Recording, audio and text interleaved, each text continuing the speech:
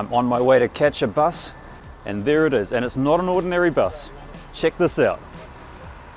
It is a double decker bus. It's electric, but it used to be diesel. How cool is that? It's been converted to run on battery power. Let's go check it out. Yep, this bus operated for years in Wellington, running on diesel, before engineers at Tranzit Group spent months converting it to electric, being the first of its kind in the country. It's been driven up to Auckland for two weeks of demonstrations to prospective buyers, and with the knowledge learned during this technical surgery, Transit are now able to convert one diesel bus like this to electric power every fortnight, showing that Kiwi ingenuity is alive and well. Check this out. We are going over the harbour bridge in a fully electric double-decker bus, and it was running on dirty diesel, and now it's clean. I'm really interested in asking about the tech specs of the conversion though, because many, many years ago, I took an old Mitsubishi, many folks know this, and I ripped out the engine, put in some batteries and a motor, and then drove it around New Plymouth for a couple of years running on pure electric power. So electric car conversions, they, uh, they stir my soul. Riding in this is kind of like therapy. It's electric car conversion therapy.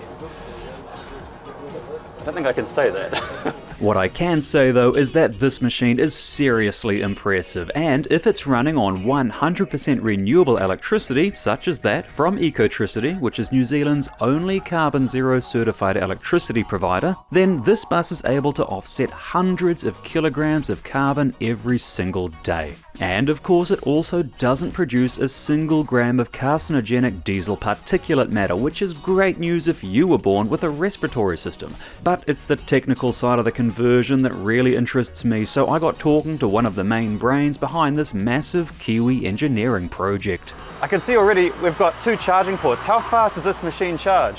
So at the moment we, we went dual because dual's uh, uh, we, what we what dual helps us is just gives us the K straight back real quick. So we're 120 kilowatt, 200 amp per charge, so we're 400 amp charging.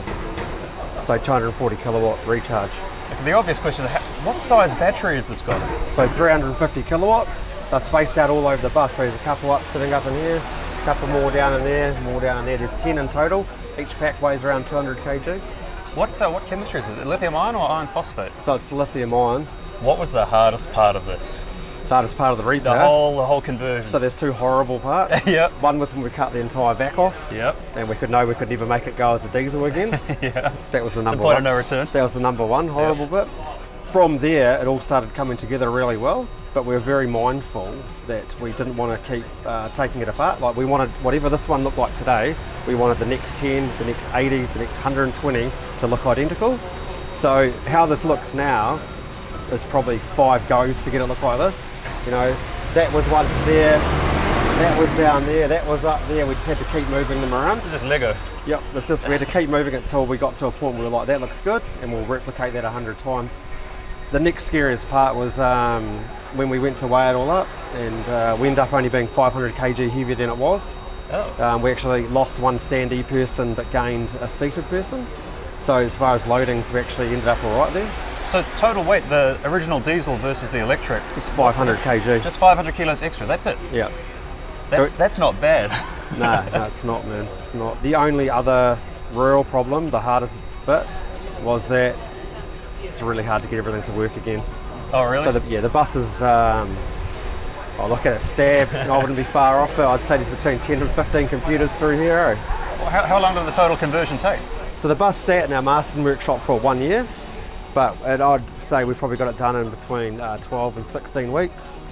It's just that we had to come off and go on to other jobs. Oh, I was going to say, that's, that's pretty quick though. If we had to do it straight away again, like we were ready to go, on the next one we would have been four to, four to six weeks.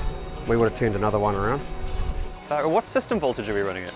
Uh, just over 600. 600 volts? Is nominal, yeah.